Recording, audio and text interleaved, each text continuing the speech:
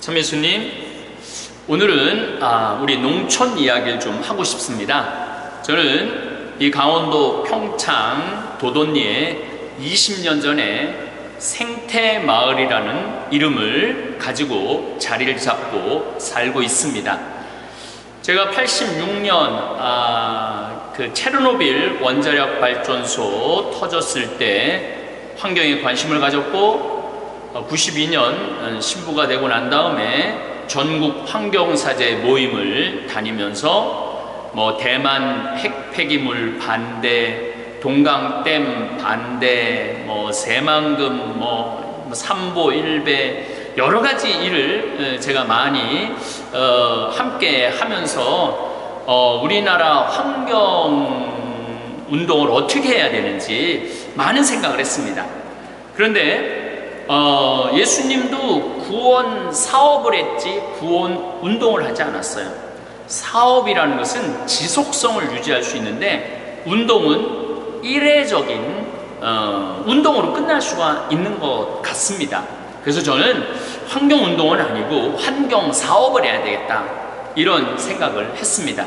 그래서 20년 전에 이제 이곳 생태 마을에 와서 정말 아름다운 경치, 아름다운 뭐 농촌, 산, 별, 강, 이 모든 것을 보면서 참 자연에서 산다는 게 얼마나 행복한 것인지 아주 어, 실감을 하고 행복한 나날을 보내고 있습니다. 가끔 어, 이제 요즘은 강의를 제가 안 나가지만은 부산이든 서울이든 경기도 지역에 강의를 갔다가 돌아올 때면은 어, 이 들녘에 들판에 이렇게 많은 뭐 음, 수수, 기장, 뭐 그다음에 벼, 옥수수, 콩 이러는 자라는 들판을 보면은 참 행복해요. 그런데 우리 농민들이 뭐 92년도인가 내 기억에는 우루과이 라운드 96년 뭐 여러 가지 뭐 하여튼 여러 가지 문제 때문에 또 이제 미국 그, 시장에 우리 농산물이 개방되면서 경쟁력을 많이 잃어갔습니다. 참 우리 땅에서 신토 불이라고 우리 땅에서 난 거를 우리가 먹으면 참 좋을 텐데 일단 배 타고 바다 건너 넘어오면은 어, 농약을 칠 수밖에 없다고 생각을 해야죠.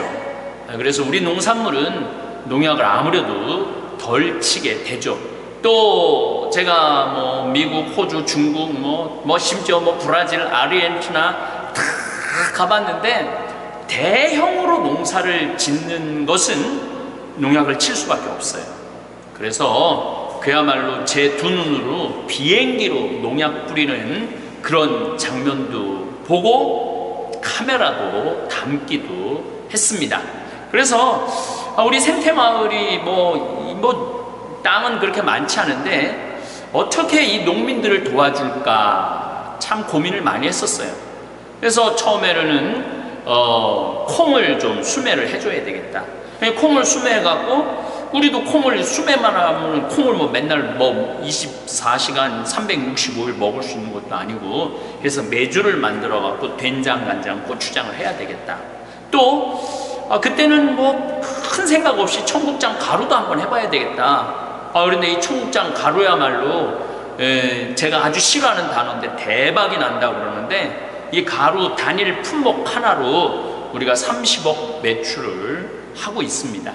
어, 많은 분들이 이 청국장 가루를 먹어보고 너무너무 건강에 좋다고 그동안 뭐 아팠던 분들 통증도 많이 사라지고 이런 이야기를 하면서 아, 우리 농, 민들 콩도 우리가 이제 보통 한 1,800가마에서 2,000가마를 1년에 어, 소비를 하는데 어, 농민들이 얼마나 행복해 하는지 모릅니다. 그리고 난 다음에 이 많은 사람들이 우리 생태마을을 방문하죠. 1년에 한 5만 명 정도 방문을 하는 것 같아요. 아, 이분들한테 우리 농민들이 좀 에, 좋은 생산물을 좀, 좀 제공을 해드려야 되겠다. 그래서 우리 직원들이 조사를 하기 시작했어요. 뭐 어떤 농산물들을 잘 만들고 누가 잘 만드는지 이 근처에서 조사를 해보면은 꿀 같은 경우는 어 3월달, 4월달 아카시아 막 피고 날 때 꿀 같은 걸 나오면은 한 농가에서 우리가 성분 조사도 우리가 다 합니다. 그 꿀은 뭐 6월 달에 다 떨어져 갖고 여러분들 지금 주문하셔도 사실 수가 없습니다. 그리고 이제 뭐 이렇게 취나물 말릴 수 있는 취나물 아, 그리고 또 어, 고사리 아주 좋은 아주 얼마나 무농약인 뭐 이런 곤드레 이 곤드레는 뭐 우리 평창 여기가 아주 강원도에서 제일 많이 나오고 전국에서도 제일 많이 나오죠. 그래서 우리는 이 식단이 곤드레 밥이 있어요. 뭐 거기다가 간장 이렇게 양념해 갖고 비벼 먹으면은 뭐 서울에 어떤 본당에서 왔는데 우리가 너무 많이 먹었고 밥을 세 번을 했어요. 밥을. 그 성당은 내가 좀 가끔 얘기하는데 이건 유튜브 동영상을 너무 많이 보셔갖고 그 성당 이름은 내가 얘기 안 하겠지만은 하여튼 이, 이 그래서 저는 도시 분들이 여기 와갖고 우리 생태 마을에 밥이 맛있다고 그러고 음식이 맛있다고 그러는데 제가 보기에는 음, 이런 곤드레밥이라든지 뭐 고사리, 취나물 이런 게 먹는 게 아니라 자연을 먹는다는 기분이 드나 봐요. 건강한 자연을. 그래서 많이들 행복해 하시는 것 같아요. 또 우리 여기 뭐 이 산나물인데 예, 평창 산나물도 있고 아주 또 인기 있는 여기 우리 아주 인기 있는 품목, 품목입니다. 이 잣, 평창 잣인데 아주 많은 분들이 이 아는 분들은 아주 주문해갖고 많이 드세요. 그 다음에 미숫가루. 어, 우리는 청장 가루가 주 품목이지만 미숫가루 만드는 어, 분들 위해서 동강에서 만드는 미숫가루도 우리가 음, 판매를 하고 콩가루도 드리고 뭐 메밀 부침 뭐 도토리묵 아 이거는 뭐 이 도토리 이, 이 묵을 진짜 이 도토리를 우리 생태마을 직원들이 도토리를 따갖고 하느냐? 아, 우리 직원들은 이거 저기 청장 가루 만드느냐고 이거 만들 시간 없어요. 저희들은 유통이라는 것은 아주 중요합니다. 제가 나중에도 아주 귀에 되면은 자세히 말씀드릴게요. 환경 사업 환경 운동이 아니라 우리 농촌 살리고 우리 농, 농민들한테 정말 마음 놓고 물건을 생산할 수 있도록 해주기 위해서는 생산, 유통, 소비 이 세 가지가 조화를 이루어야 돼요. 생산은 잘하는데 유통을 못하면은 이게 생산자들이 망해요. 또 소비를 잘하고 싶은데 생산자하고 직접 만나기가 쉽지가 않아요. 그래서 유통이 굉장히 중요합니다. 그래서 우리 생태마을은 이 1년에 뭐 5만 명 오고 우리 대살렘 회원들이 어 거의 뭐 만 명이 넘고 또 물건을 주문해서 드시는 분들도 한 5만 명이 넘어요. 그렇기 때문에 우리 생태 마을이 하는 일은 누가 건강한 먹을거리를 생산하느냐 이거 찾는 일이 아주 중요합니다. 그래서 어 조사를 잘 해보고 또 우리는 어 반품도 다 해드려요. 뭐 다른 데는 뭐 돈 받고 뭐 유통회사가 뭐 물건 안 보내주고 도망갔다 뭐 이런 게 있는데 우리 생태마을은 신용 하나가 얼마나 중요한지 잘 아는 공동체입니다. 그래서 여러분들 마음에 안 들면 반품도 하고 어떤 분은 이거 한국산 아니고 중국산 아니냐 의뢰해보겠다 그래갖고 의뢰하라고 그랬는데 연락 없는 거 보니까 한국산으로 판명이 난 모양입니다. 또 뭐 들깨가루도 있고 또 이 화분, 이 꿀벌 화분도 아주 잘 만들어요. 예. 예, 그래서 어, 프로폴리스 이제 우리나라에서도 프로폴리스가 나오고 그 다음에 뭐 밀가루 또 그 외에 온갖 작곡류는 우리가 다섯 군데 농협에서 어, 물건을 받습니다. 그래서 그 지역에서 잘 만들 수 있는 강원도에서 잘 나오는 것이 있고 충청도에서 잘 나오는 게 있죠. 그래서 그런 농협들하고 우리가 잘 예, 연계를 해서 우리 쪽으로 물건을 보내주면은 또 생태마을에 이렇게 피정 오셔서 보시고 사가시고 또 어, 먹어보니까 또 편안하고 이제는 시대가 바뀌어가고 있어요. 그리고 이제 여러분들이 우리 어, 생태마을 홈페이지에 들어오시면은 우리가 한 100가지 종류의 농산물을 취급을 합니다. 그럼 여러분들이 이렇게 주문을 담으시면은 택배로 딱 전화 주문하면 딱 집 앞까지 음, 배달해드리고 또 이 배달 우리가 배달의 민족은 확실한 것 같아요. 배달의 민족은 미국에서는 상상도 못하는 일이죠. 5만 원이 넘으면 우리 쪽에서 다 부담을 해갖고 여러분들 집까지 건강한 먹을거리를 보내드립니다. 그 외에도 뭐 녹두, 기장, 서리, 콩, 서리태, 뭐 백태, 뭐 율무, 예, 그 다음에 뭐 하여튼 흑미, 기장, 뭐 쌀까지. 예, 그 다음에 우리 이, 이 참기름도 참기름도 많은 분들이 아주 좋다고 그래요. 예, 우리가 직접 생산자하고 만나갖고 이 참기름의 물건을 우리가 갖고 옵니다. 그래서 여러분들 어, 이, 이제는 어, 유럽의 그 선진 농업국들을 가보면은 어, 유기농 농약 안 뿌리는 어, 농토가 한 50% 정도 됩니다. 그러니까 국토의 50%를 농약을 안 뿌리니까 국토가 건강한 거죠. 그리고 진짜로 덴마크라든지 핀란드 같은 데 가보면은 사과를 이렇게 들어오는데 벌레가 먹은 거를 그 사람도 너무너무 자연스럽게 사요. 우리처럼 그냥 매끈매끈한 사과를 사는 게 아니고 그냥 조금 흉, 상처가 나도 자연스럽게 거기를 도려내고 어, 먹습니다.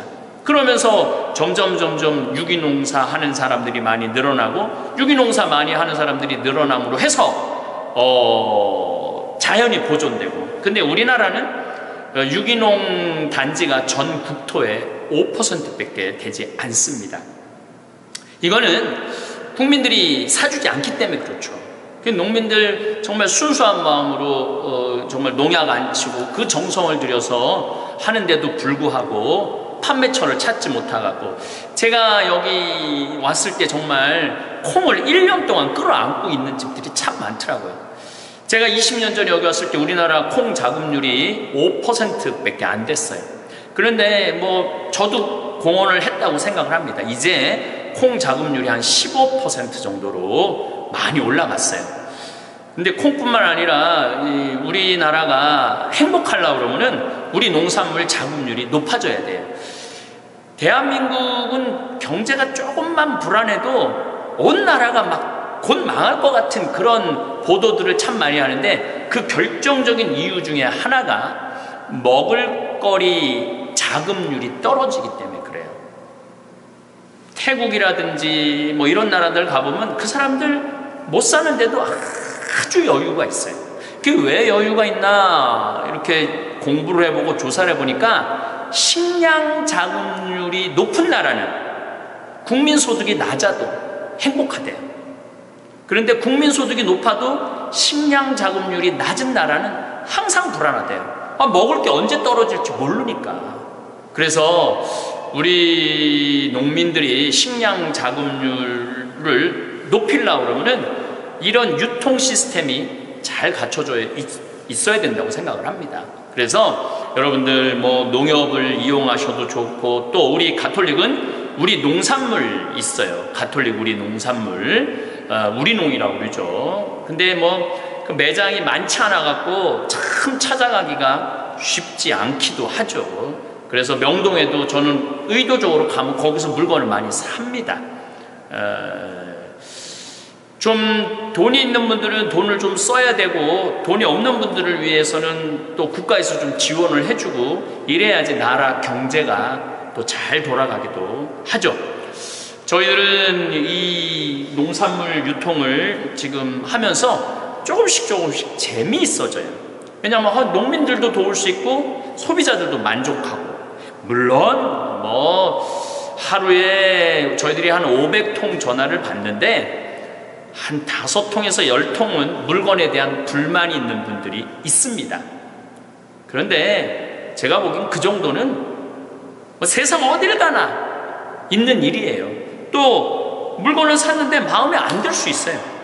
그거는 저희들 전화를 하면은 반품을 해드립니다.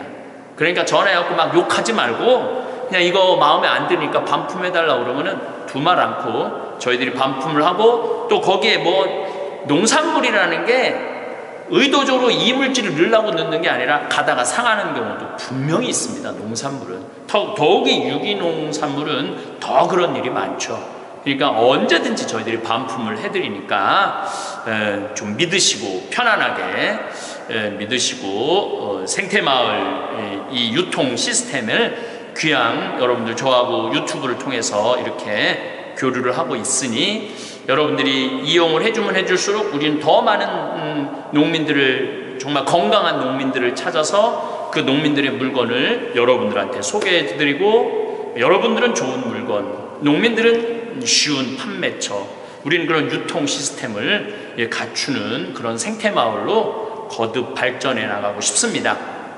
제가 지금은 이제 이렇게 물건 앞에서 여러분들한테 말씀을 드리지만은 기회가 된다면 이제 PPT 파워포인트 작업을 해서 환경에 관련된 거 우리 노, 지난번에 나무에 대한 이야기도 드렸듯이 우리 농산물 시스템 전 세계 농산물의 시스템에 대한 이야기. 에, 미국에는 카길이라는 어, 회사가 있어요. 농산물 전 세계 70%의 농산물을 장악하고 있는 회사입니다 어, 이런 회사들이 얼마나 많은 이런 순수한 농민들을 정말 죽이는 과정이 있어요. 어, 또뭐 커피도 마찬가지고 뭐 여러 가지 우리가 이 지구에서 살면서 알아야 되고 배워야 하는 것들이 좀 있는데 그거는 저도 뭐 요즘은 뭐 1년 단위로 막 변해갖고 제가 환경에 관련된 책을 쓰면서 농산물에 관한 이야기도 썼지만은 저도 또 자료를 공부하고 또 좀 세계 돌아가는 정세도 공부해갖고 여러분들한테 아 그래 우리가 이런 농산물을 사용함으로써 우리나라가 이렇게 건강하고 농민들이 건강하고 에, 뭐 귀농까지는 이제는 뭐 그 쉬운 일은 아닙니다. 그래도 어, 농촌에서 사는 사람들이 좀 풍요로운 그런 삶을 사는 시스템이 요 우리 조그만 생태 마을에서라도 한 기여를 하고 싶습니다. 그래서 어, 우리 생태마을 성 필리포 생태마을을 치시면은 우리 홈페이지로 들어오실 수 있어요. 그리고 홈페이지에 딱 열면은 우리 농산물 그 어, 이렇게 목록이 화면으로 다 있습니다. 그래서 그걸 보시고 아 내가 요러 요런 거는 구매를 좀 하고 싶다. 그래갖고 전화를 하셔갖고 요러 요런 거 몇 개를 보내달라 그러면 저희들이 주문 받아갖고 택배로 다 보내드리고 다시 한번 말씀드리지만은 마음에 안 드실 때는 전화하셔갖고 반품 얼마든지 하실 수 있으니까 편안하게 그렇게 주문하시고 이용해 주시면 저희들도 신바람 나게 이 생태 마을 잘 가꾸어 나갈 수 있을 거라고 생각을 합니다. 지금 우리 생태마을은 필리핀에 우리 외방성교회 신부님 저희들 같은 유통 구조를 갖고 있는 데를 지금 지원해 주고 있습니다. 음, 그래서 한국뿐만 아니라 전 세계 지구를 살리자 그래서 우리 생태마을 후원의 이름이 되살림입니다. 물론 잠비아도 이런 시스템을 저희가 갖춰갖고 카사리아 뭐 잠비아 이 여기는 만 평밖에 채 안 되지만은 잠비아는 천만 평이니까 이거보다 천 배, 천배 큰 건가, 만 배 큰 건가 어마어마하게 큰 곳에 에, 그야말로 하느님께서 제대로 해보라고 잠비아에 땅을 주셨습니다. 그래서 나중에는 잠비아도 그런 생태 공동체가 어, 형성이 될 것이고 여러분들은 유튜브를 통해서 또 함께 하실 수 있습니다. 감사합니다. 다시 한번 어, 저는 예, 월요일 날, 화요일 날 이스라엘 술, 순례를 떠납니다. 이번에는 어, 굉장히 중요한 거룩한 땅에 가기 때문에 중요한 부분 부분은 제가 3분 단위로 끊어서 계속 올릴 겁니다. 그래서 여러분들 어, 순례 비록 몸이 아파서 누워서 못 가시는 분들, 돈이 없어서 못 가시는 분들, 다리가 떨려서 못 가시는 분들을 위해서 제가 최대한 어, 예수님이 활동하신 그 발자국 발자국을 어, 이 유튜브를 통해서 올릴 것을 약속드리겠습니다. 감사합니다.